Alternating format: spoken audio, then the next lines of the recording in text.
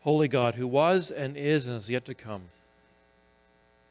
In the midst of a world that is changing almost hourly, of protocols and guidelines of distancing and cohorting and engaging, we give you thanks and praise that your word, a reflection of you, remains timeless and true.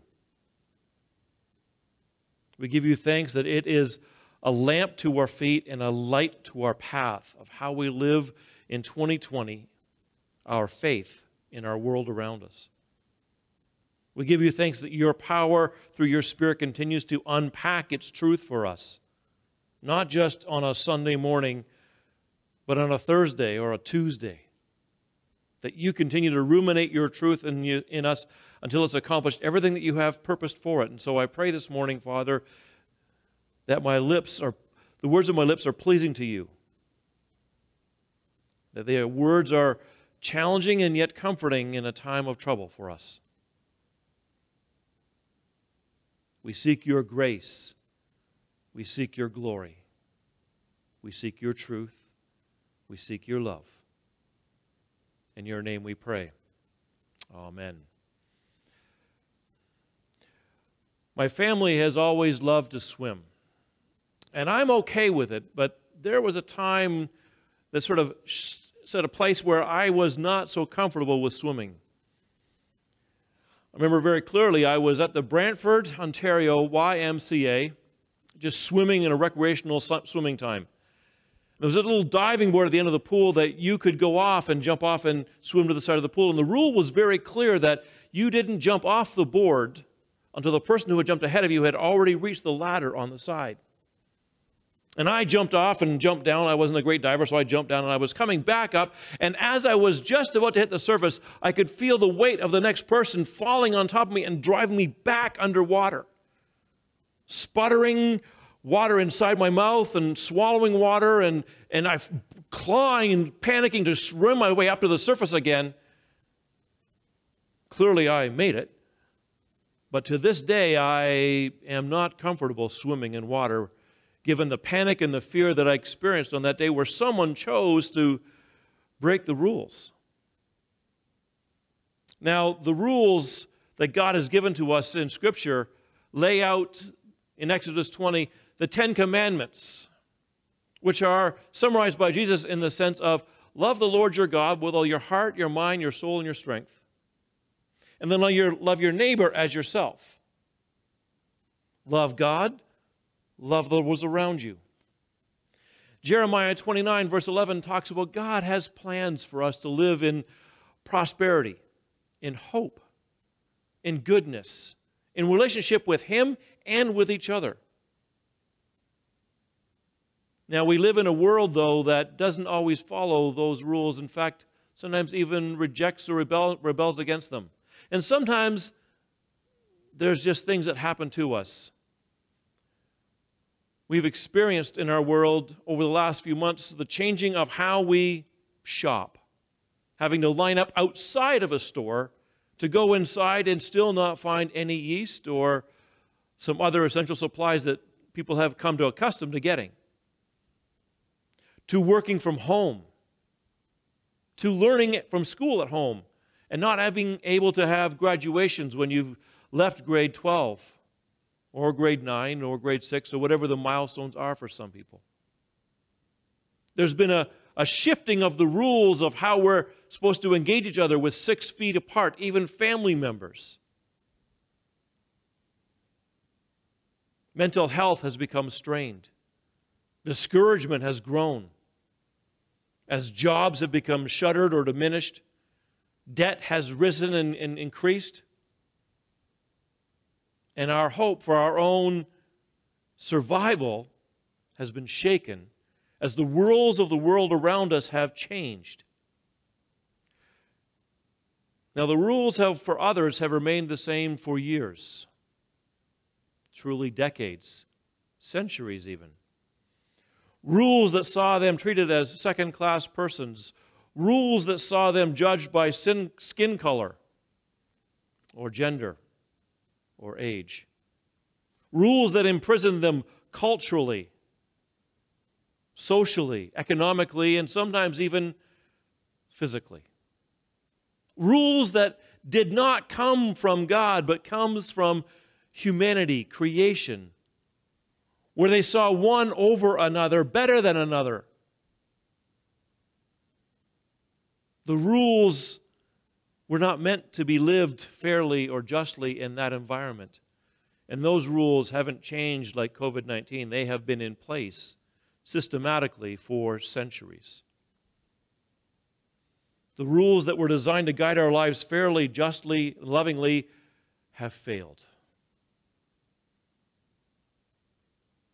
They results in a chaos that's exhausting, exasperating, and expires many of our dreams and our desires. It creates frustration and fear and failure. We see peril, we see panic, and we see pain. We lose control, we lose order, we lose power. This chaos that, that fills every sense of our being for some who've never had control are now trying to reassert control, and for others it feels like they're taking away our control, a control that none of us really ever had because we've all sinned and fallen short of God's glory. Now, we make efforts in the midst of this chaos to build our own kingdoms. It's like we would take God's light away and we would take out our own set of, say, blueprints to, to plan out how we wanted to build our own little kingdom, if you will. And a blueprint is a drawing that, that describes how what you want to create, how what you want to build fits into the scheme of things. And it also includes dimensions of the size and the amount of the quantities of materials that you need to create your project. But the reality is, our own kingdom building, our own efforts to create our own order, our own control, our own power, ultimately always fail.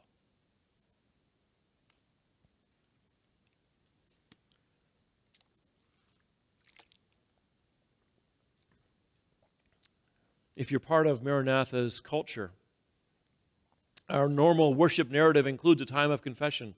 And I've not skipped it this morning because it should never be missed or avoided because it's a recognition of who God is and who we are in connection with God, His, His laws, His rules, His decrees, His guide for how do we live in worship of Him and in love and service to each other.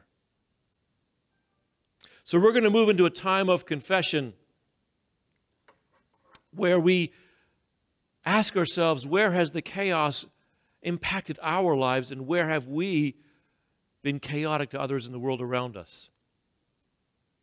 So I'm going to invite you for a few minutes. This is a bit unusual, I know, but we're in unusual times. To, in your family groups, or if you're alone, just pray.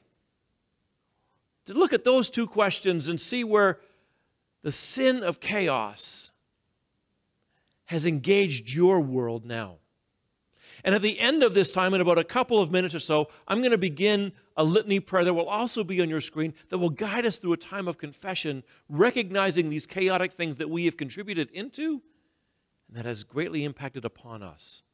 So, begin your time of confession with one another as you discuss where chaos has hit you and where you were chaotic in the world around you.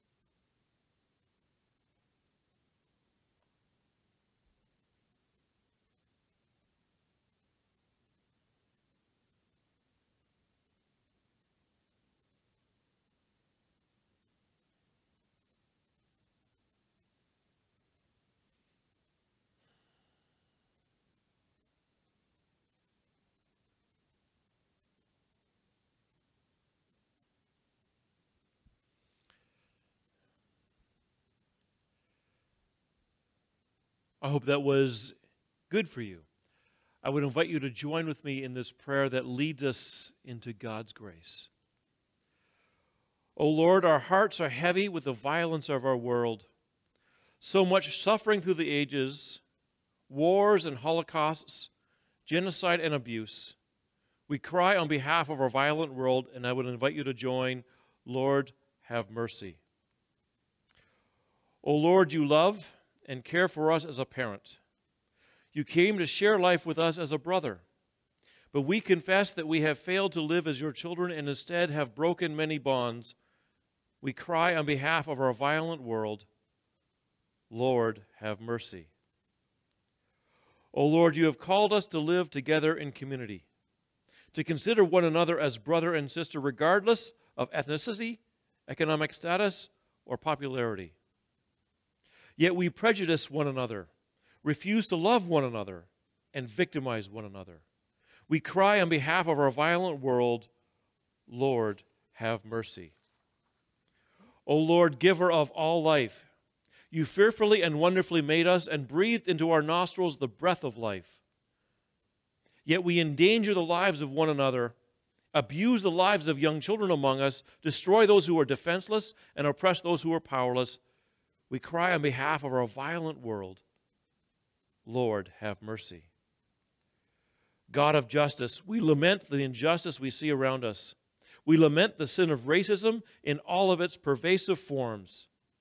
Forgive us for failing to live into the life that you have that you modeled for us, a life that enters into the suffering of others and offers healing and grace. We cry on behalf of our violent world, Lord, have mercy.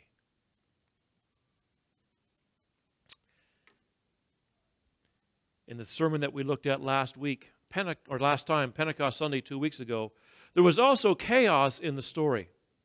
The power of the Holy Spirit came down upon the believers of Christ. There was 120 of them or so. And they began to praise God in different languages, languages that were not of their own. There were tongues of fire that appeared to be dancing on top of their heads. And the Jews in Jerusalem thought they were drunk, and the Jews in Jerusalem thought they were confused. But Peter stood up. This uneducated fisherman knew about the chaos of the world. Peter the denier, Peter the rebuker, Peter the sinker into the waves of the storm was also Peter who knew clarity, the clarity of Christ. Because only in Christ would the blueprints make sense. Because every blueprint has an architect that designs it. An architect that is one that signs off on the integrity of the structure, that everything makes sense when it's put together, and then when it's done, it is structurally sound and efficient and competent. Peter contends that the blueprints for the faith and the life of the people of God will be only found in the person and the work of Jesus Christ. And Peter speaks in Acts 2:42 and sorry, Acts 2:22 where he speaks into the history of the Jewish people, how the Messiah was promised to them, a Messiah who would save them and deliver them, a Messiah who would show them how to live as God's people, fulfilling the rules, the laws, the decrees, the guide of God himself to his people fully, faithfully, obediently in love. A Messiah who would speak about a kingdom of majesty and mercy. A kingdom, a Messiah who would speak of a kingdom of grace and glory, of redemption and righteousness, a kingdom of love. A Messiah who would take all of the chaos in this world that had subjected people to suffering and slavery, if you will, of sin and human degradation, and bring control and clarity from God back into creation. The Messiah, through his death on the cross, would make that very thing possible. And that's why we remember the cross and his crucifixion. The penalty of sin, death, was ours, but he took it upon himself. A death, a blood sacrifice once for all. But also a Messiah who, through his resurrection, would bring life, an abundant and full life, a just life, a shalom life, an equitable life, an equal life. A life not based on our expectations or on our merit, but on his presence, his providence, and his power a Messiah who would make all things new, a Messiah who wasn't just a guide or a gimmick that you talked about, but one who dwelled within to reveal truth, to empower life. We spoke earlier of this confession of the chaos in our world. Part of the narrative at worship here at Maranatha is not just recognizing the confession of our failings, but also the glory of our being found by God. So I want to play this video for you that reminds us of just who we are in Him and for Him. Lord, the door cracks open to a new day and a new time. Fresh air and blue skies, faces we've longed to see. You make all things new. It is not the same world we left, and it may never be again but you are the God of restoration. You, O oh God, make a way in the wilderness, a river in the desert. Where we have turned away, Lord, we come back and pray for healing, for our land, for our people. We pray that you refresh our faith, our relationships, our communities, our purpose. We gather our courage our hands will be strong, our voices will be loud, and we will carry the good news of your beautiful hope. As we step out, you are with us. Our work has just begun.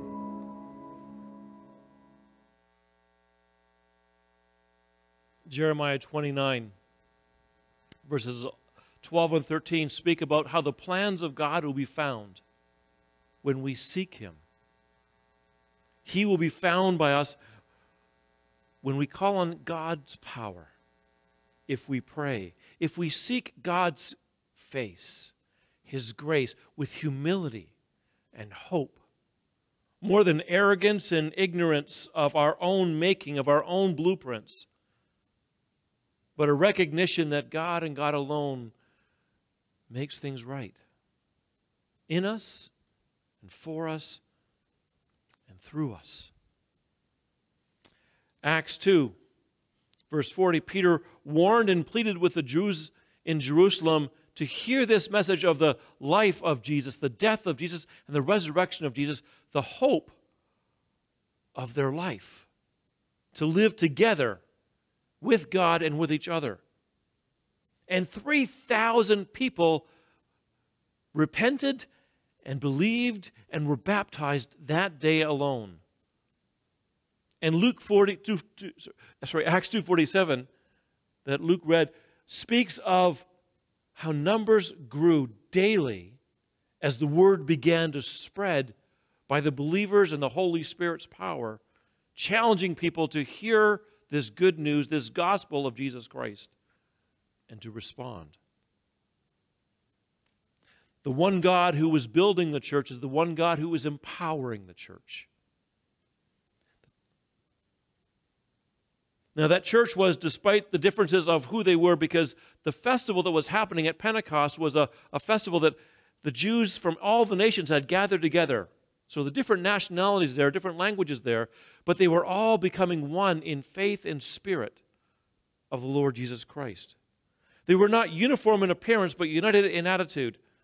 The text in Acts 2 speaks of the unity of the body of Christ. In verse 43, everyone was of one mind. And the text in 42 to 47 speaks of the word they, assuming everyone was doing things together in learning of the disciples, of serving the needs of the poor, of worshiping God, of praying. All the separation found in the chaos of the world is united in the Christ who rules over the world.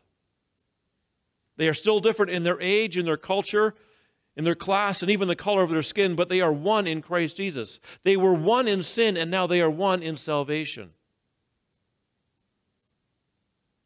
The text also speaks of this church, this growing church of being devoted. It says that in verse 42. The word in verse 46, where we speak of continue to meet together, is the same word in Greek. It means they were devoted in their meeting together with God and with each other. They were devoted to the apostles' teachings. They were devoted in prayer. They were devoted in mission work. They were devoted in their new lives as followers of the Christ.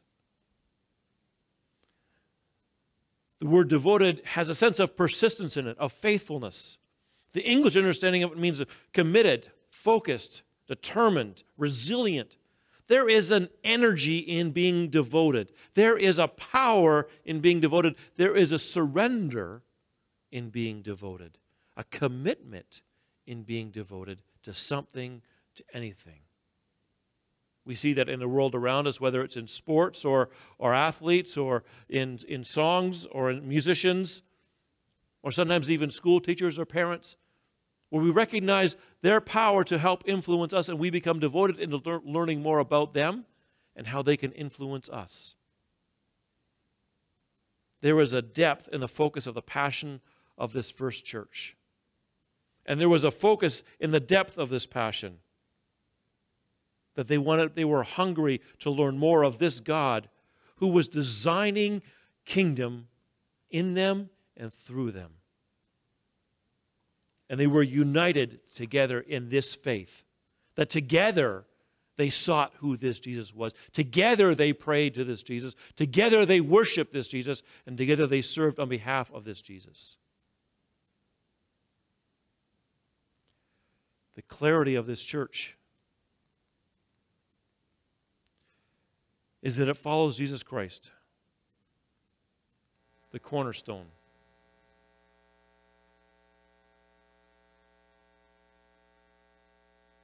Christ, and we belong to Christ, not the chaos. Now, next week, we're going to look at the church in more detail as we look at some of the people that are engaged in the church as we celebrate our grade six church school and their graduation from the church school into the youth group and the broader church. We're also going to celebrate the installation of office bearers, the new office bearers that are some of whom are brand new to the church. We also get to celebrate the, the baptism, the profession of faith of Megan Jones and Tristan's bapt- and his baptism as well. We get to celebrate the people of the church next week, as well as the Lord's Supper, where we remember the Christ who knits all of this together. In the following weeks, we're going to unpack more of what God's blueprint for the church looks like, the parts of the church, especially how it affects us here at Maranatha CRC. How our Vision 2020 looks at the various ships of how we organize and structure and lean into our church, and how that structure leans out into the world around us. A church that has been designed by God, purposed for God, and empowered by God for His kingdom. Christ did not promise to remove us out of the struggles of our world, the racism, the chauvinism, the inequality of injustice of poverty, and the other inequalities that we live in. And He didn't promise us that we wouldn't be challenged to give more and to receive more grace. But He did say that He would be on His throne, guiding and directing, empowering and enabling his church to be his hands and his feet, along with the power of the Holy Spirit, the fragrance of Christ himself, and the will of God the Father lived out in us and for us and through us.